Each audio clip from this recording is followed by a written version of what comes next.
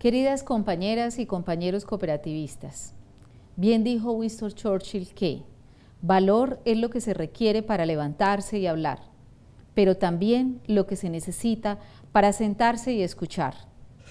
Por eso quiero agradecerles por estar en este importante foro mundial dispuestos a escuchar, aún con lo poco cálido que puede resultar interactuar mediante estas tecnologías Añoro haber podido departir con ustedes personalmente en este espacio de fraternidad, pero el cruce de agenda me lo ha impedido. Aprovecho entonces por este medio para estar virtualmente presente en este foro como presidenta mundial del Comité de Equidad de Género de la ASI, como cooperativista, pero sobre todo como mujer. Aprecio su atención, especialmente porque sabrán que con esta intervención no habré inventado nada ni hablaré de algo que no conozcan o que probablemente no vivan a diario, pero estoy convencida de que nuestros discursos configuran nuestras acciones del valor que tengamos para hacernos oír en todos los escenarios posibles y hacer permanente y legítimo nuestro discurso, crearemos condiciones para cambiar prácticas que contribuyan desde nuestro movimiento cooperativo a revertir el desequilibrio de género en el mundo de los negocios y en los demás escenarios donde las mujeres tenemos aún caminos por recorrer. En las cooperativas, por cuenta de nuestra naturaleza, estamos brindando un aporte fundamental al posicionamiento de la mujer, no solo en el acceso al empleo remunerado, sino en su promoción hacia niveles mayores en la estructura de decisión y gerencia de nuestras organizaciones. Las cooperativas hemos sabido entender que el sexo no es un indicador de las competencias, que el embarazo y la maternidad no deben ser fuente de discriminación al acceder a la formación, al desarrollo profesional y al empleo, y que la decisión de contratar o promover a las mujeres y hombres debe basarse en factores como las aptitudes personales y los requisitos inherentes al empleo. La condición femenina nos hace dueña de capacidades con las que logramos empresas no solo productivas y eficientes, sino visiblemente democráticas, social y ecológicamente responsables y éticas. Las mujeres aportamos valiosos activos a las empresas, tenemos capacidad creativa, poder para actuar movidas por la pasión que nos lleva a empoderarnos de lo que hacemos liderazgo y habilidades multitareas, visión práctica para trabajar en equipo, manejar los conflictos y resolver problemas, sentido de colaboración, autoexigencia y compromiso. Somos constructoras de relaciones de confianza, empáticas y asertivas. Transmitimos energía e ilusión. Gozamos de intuición, instinto y visión cualidades que son reconocidas como talentos de valor para los negocios. Las cooperativas hemos sido inteligentes, hemos reconocido las diferencias naturales entre hombres y mujeres, hemos crecido con los consensos y también con los disensos. Por eso nuestras luchas no son contra las diferencias entre hombres y mujeres, sino en favor de la igualdad y de la equidad porque son decisivas para el crecimiento económico y la reducción de la pobreza. Nuestra principal inversión como cooperativas es siempre el capital humano y sabemos que éste tiene un papel determinante en el aumento de la productividad y el crecimiento. En muchas de nuestras organizaciones, las mujeres estamos desempeñando un papel esencial como agentes capaces de transformar sociedades y economías.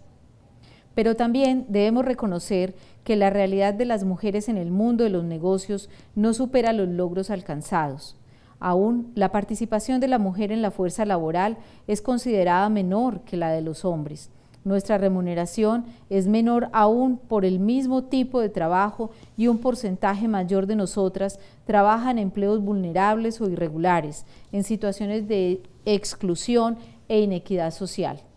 La diferencia de sexos que naturalizó una diferencia de géneros mantiene estereotipos que alejan a las mujeres de ciertos cargos y posiciones empresariales.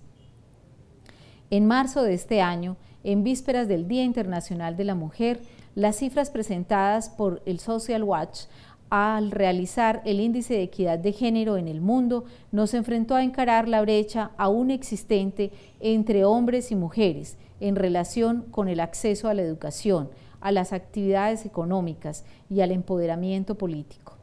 Todos vimos cómo el índice de equidad de género en el 2012 calculó el valor mundial de 71, es decir, bajo, para el acceso a la educación de 42, muy bajo, para la participación económica que indica las brechas de ingresos y el empleo, y de 17, crítico, para el empoderamiento político que indica las brechas en los empleos altamente calificados, los cargos parlamentarios y las cúpulas empresariales. Ningún país del mundo ha llegado a los 90 puntos o más, lo que significa que por ahora ninguno ha logrado el nivel aceptable en este índice de equidad. Pero lo más frustrante es que este lugar inferior de las mujeres en participación económica y empoderamiento político y empresarial se repite en cada uno de los 154 países estudiados. Por tanto, el desafío para el movimiento cooperativo es grande como una fuerza que interactúa con un gran impacto mundial en relación con los estados y el mercado.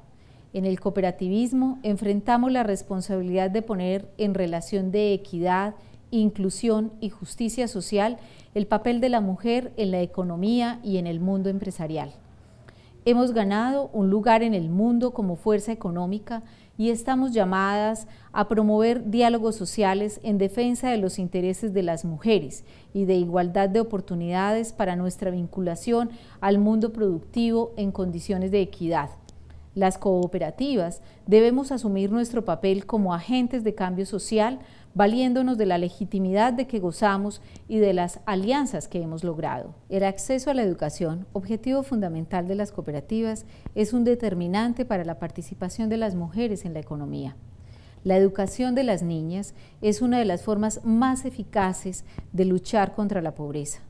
Las niñas que reciben educación tienen más probabilidades de percibir ingresos más elevados y mayores recursos en la edad adulta y se preocuparán también porque sus propios hijos reciban una educación para romper el ciclo de pobreza.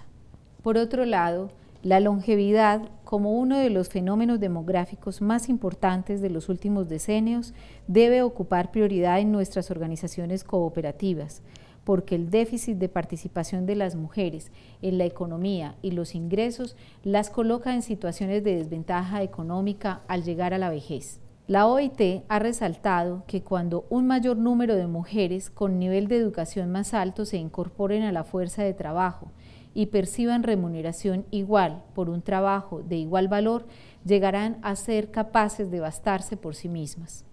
Por tanto, el empoderamiento económico de la mujer debe ser propósito de las cooperativas como fuerza para el desarrollo. Como cooperativas tenemos todas las herramientas para construir y fortalecer capacidad en las mujeres. Desde nuestras empresas cooperativas tenemos los activos que se requieren para la equidad de género, fortaleciendo a las mujeres para que se empoderen y asuman control sobre sus destinos y su desarrollo personal. Promover la participación de las mujeres en el mundo empresarial y en nuestras cooperativas será siempre una importante inversión.